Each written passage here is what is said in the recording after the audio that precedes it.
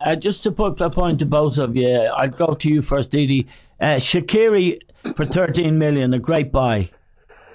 Um, well, I'd uh, I'd sit still for now. Uh, I, or sit on the fence. Um, he's a he's a capable player.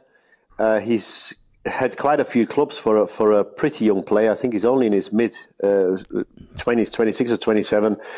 Um, he's he's caused a few problems at some of the clubs, and there was a reason. Um, he's uh, he hasn't really had long spells or longer spells at at uh, at clubs. And he can pick a pass out, Didi. he?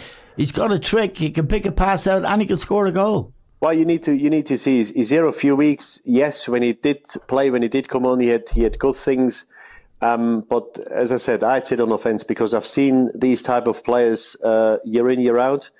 Uh, they they come in, they do well for a few weeks, then they go cold, right? And you don't see them for a, for a longer uh, period of time. So uh, with Shaqiri, he's a capable player, yes. Would I have bought him for Liverpool, even for 30 million? I wouldn't have brought him in. Uh, 13, uh, he cost. John, what do you make of him? Um, well, I like him. Yeah, I, well, I'd want to see more of him, Eamon. You know, he's at Stoke, and, and Stoke were up and down yeah. to say the least. It was at Basel uh, as well, I think. You know, yeah. he, sorry, where? He was in Switzerland, Basel. Yeah, but I'm talking, sorry, I was talking about the Premiership. That he, you know, mm. he's at Stoke. He, he, at some matches, I would agree with Didi. Some matches you think he's a terrific player, uh, and then other matches, well, he's not so good. I think it will actually suit uh, Liverpool because he won't be playing all the time, Eamon.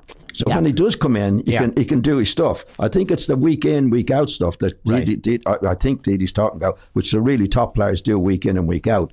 And if they're a bit weak in character, then they, they have their good days and then they have their bad days. So I think in Liverpool's case, he's not going to be playing on a really regular basis. So right. he should be okay and it should suit him just coming in and going out.